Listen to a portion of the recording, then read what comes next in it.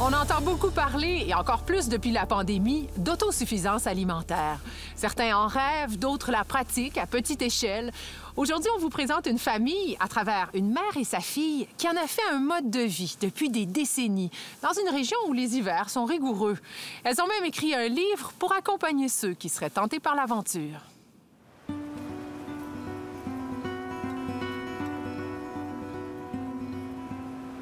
Pour moi, l'autosuffisance, c'est euh, peser le moins possible sur la planète en général, puis sur les autres êtres humains.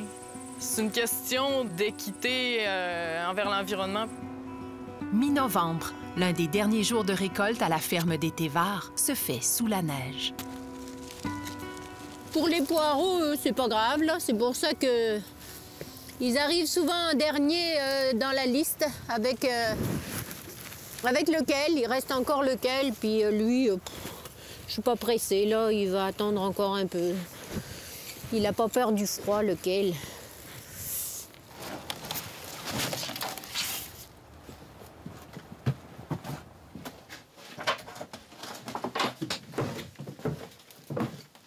Presque tous les légumes du jardin de Marité et de sa fille Marie sont entreposés dans ce caveau. Certains légumes feuilles, posés sur le sable humide, garderont leur fraîcheur pendant des mois. Au Québec, il faut penser à ça, non? Parce que si on veut passer l'année, ben, il faut trouver une manière de se garder les, les légumes qu'on cultive en été. Tous les, les légumes d'été qu'on a en trop, en fait, on les transforme en lactofermentation pour l'hiver. Quand le caveau est plein, on pourrait croire que la terre tombe en dormance. Mais les apparences sont trompeuses. L'activité microbienne, en fait, euh, bactérienne, est très active aussi l'hiver. Donc, c'est- pour ça que c'est important de garder toujours du paillis puis un, manteau pour l'hiver pour que, pour que ça gèle pas trop profond puis que, et puis que l'activité puisse continuer?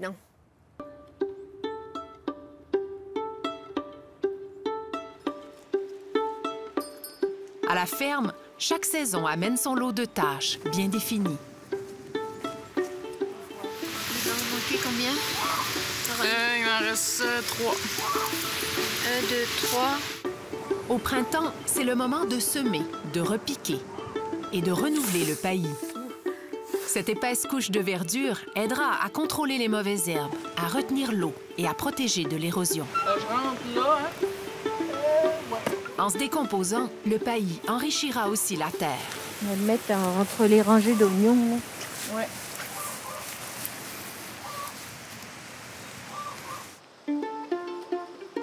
Quelques mois plus tard, au jardin, le contraste est saisissant. Mes parents étaient des, des agriculteurs euh, petits paysans.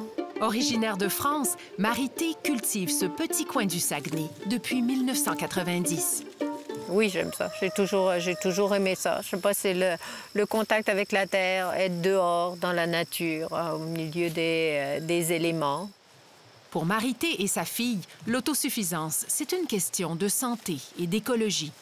Cultiver euh, comme on fait là, ça prend pas d'énergie, d'énergie fossile. Mais c'est aussi une question d'équité envers les agriculteurs de la planète. C'est motivant là de savoir que tu peux produire tes affaires puis que tu vas pas dépendre euh, de d'autres personnes pour le, le produire là. Si on mange des avocats qui viennent du Mexique, ben c'est les terres des paysans du Mexique qui sont pris pour manger des avocats. Puis en quoi, en quoi ces aliments-là, ils nous reviennent à nous? Moi, c'est là que j'ai un malaise, tu sais.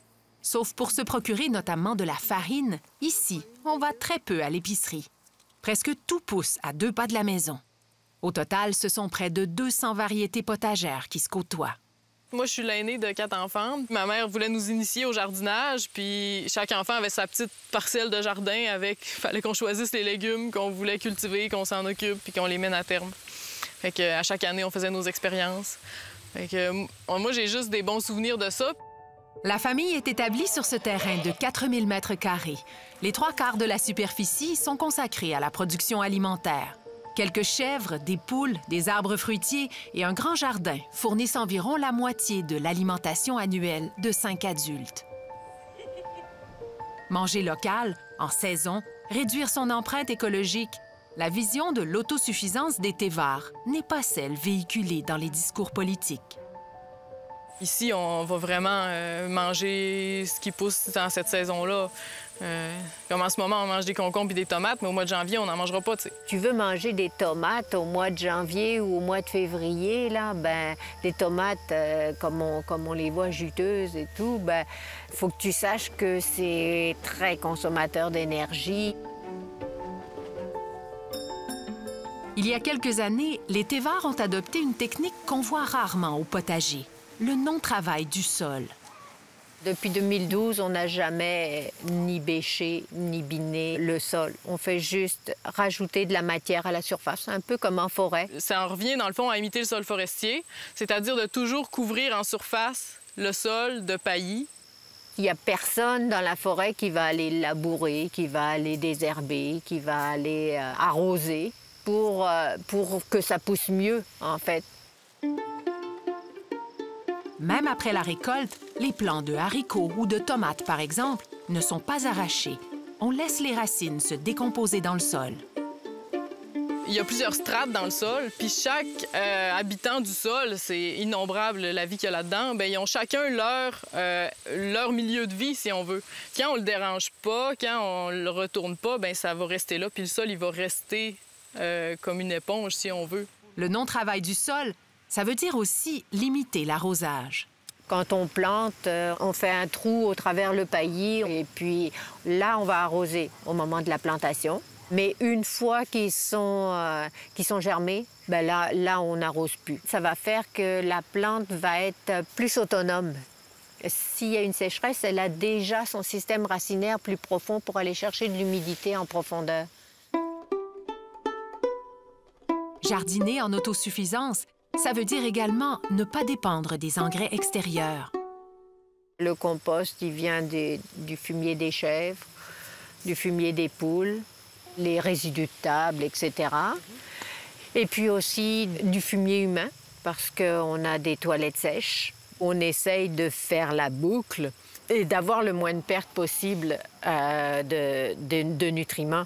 Le fait de tout redonner au sol, dans le fond, c'est un peu logique. Si tu vois le sol comme un réservoir puis que tu enlèves toujours de la matière, il s'épuise. Tu sais, C'est c'est purement logique. Tout le monde euh, connaît le principe avec son compte de banque. tu sais. Tous les fumiers sont compostés en andins sur une période assez longue pour détruire les bactéries et éviter la contamination. Mais il faut au préalable vérifier la réglementation dans sa municipalité. Chez les Tévars, au fil du temps, ces apports de nutriments ont grandement amélioré la fertilité du sol. On avait fait une analyse de sol euh, au début des années 2000 pour voir un peu euh, qu'est-ce qu'il y avait dans le sol ici. Puis on avait un sol généralement pauvre, pauvre en phosphore. On est sur l'argile lourde. Puis euh, on a refait une autre analyse de sol en 2019. Puis là, on était à côté, très riche dans tous les nutriments, y compris le phosphore. On n'a jamais euh, intégré d'engrais chimiques. Et pas de pesticides non plus au jardin. Pour minimiser l'impact des indésirables comme les limaces, les Tévars ont créé des habitats pour leurs prédateurs. On a installé euh, une mare pour euh, développer un écosystème, avoir des crapauds, des grenouilles, puis etc. Puis je laisse traîner des tas de bois dans un coin du jardin. Ça a l'air un peu abandonné, mais là-dedans peut y avoir des couleuvres ou toutes sortes d'insectes qui ou d'animaux, de petits animaux qui trouvent refuge là-dedans. Finalement, je m'aperçois au fil des années que vraiment il y a un équilibre qui se fait. Un équilibre qui procure à la famille une belle autonomie. La COVID, par exemple, a eu peu d'emprise ici. Au niveau alimentaire, nous, ça n'a strictement rien changé, euh, pas ni dans le prix, ni dans quoi que ce soit. Avec en poche un bac en agro-environnement, Marie part visiter des fermes en Europe en 2018. Avec le recul de l'école plus du voyage, c'est là que je commençais à voir que, dans le fond, les expériences qu'on faisait ici, ça donnait vraiment des résultats par rapport à ce que je voyais ailleurs, avec euh, très peu d'énergie, très peu d'intrants, avec des résultats comme vraiment euh, impressionnants.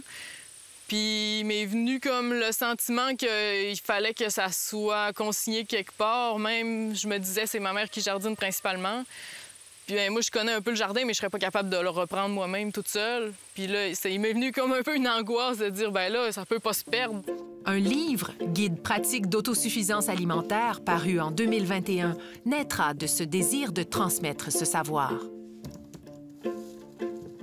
Mais est-ce que ce mode de vie équivaut à tourner le dos à la modernité? C'est pas retourner en arrière parce qu'on retourne pas en arrière de toute manière. Le temps, il avance vers en avant. Puis euh, aujourd'hui, ben, on a accès à beaucoup plus de variétés, de semences différentes. On va pas Aussi, ben, Internet, c'est quand même une chance parce qu'on peut se connecter entre, entre paysans, entre jardiniers, puis discuter.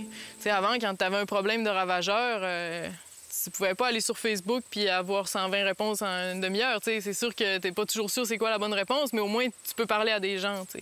L'accès à l'information en général, Google Scholar, les études scientifiques... euh, euh, je pense que l'information, ça change vraiment la, donne par rapport à nos ancêtres.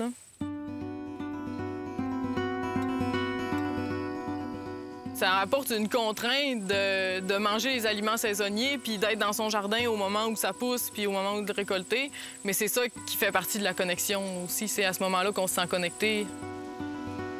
Et malgré les efforts qu'il faut y mettre, selon elle, le résultat n'a pas de prix. Je sais la qualité d'alimentation qu'on mange ici. C'est juste impossible à acheter. Mais le fait de le cueillir juste avant de le manger, ça, ça s'achète pas. Qui me rend le plus fière, c'est euh, de réussir à, produire une nourriture saine, d'avoir élevé mes enfants avec cette nourriture-là, d'avoir des enfants quand même en forme, et puis d'avoir réussi à ce que les enfants soient intéressés par ça aussi. C'est ici que j'habite, puis c'est ce territoire-là qui me nourrit. Je fais partie de cet écosystème-là. Fait que je me dis qu'en faisant partie d'un écosystème, ben j'ai mon environnement qui me nourrit, puis que je nourris aussi. Puis à ce moment-là, c'est ma juste place que je prends dans le monde. Là.